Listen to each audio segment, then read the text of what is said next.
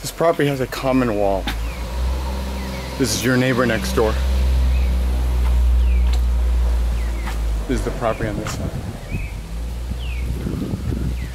That's the uh, Napili Gulch. And this is a little cul-de-sac at the end. We're gonna go through one of the bedrooms. Bedroom number one. Very nice floors.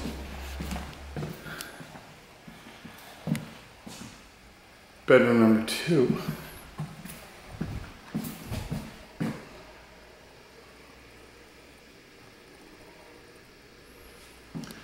Nicely renovated kitchen. That's your frontal entranceway. Here's kitchen number one, or actually the main kitchen.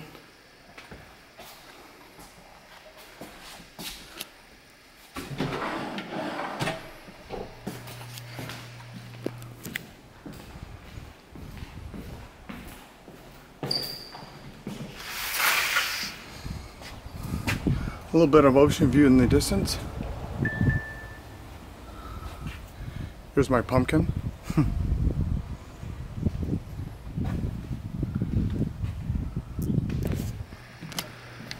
Here's a little loft.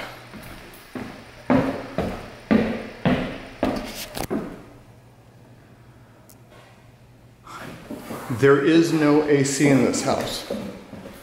Uh, Napili is fairly cool, but it can get warm every once in a while.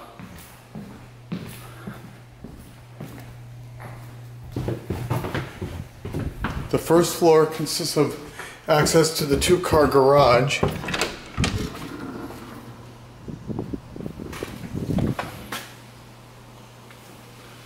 With a ton of storage. Water heat area, washer and dryer. There's only one set. Nice little storage space. Another nice bathroom. And here's the second, the first floor area. Listing agent said that there was once an, a stove in there which would make this non-conforming, so they pulled it out.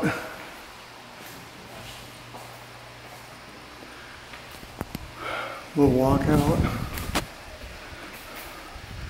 That cute little structure is actually a, a potting shed per the listing agent.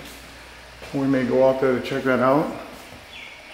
The listing agent said that this area right here was enclosed by, I assume the owners would make that non-conforming. And here's another bedroom that's right up here. So we're gonna walk outside.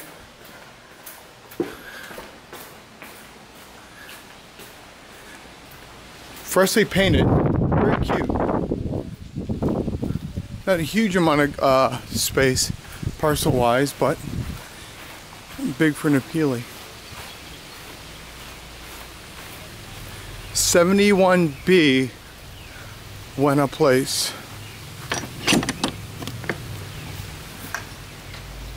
Yeah, it's a potting shed area.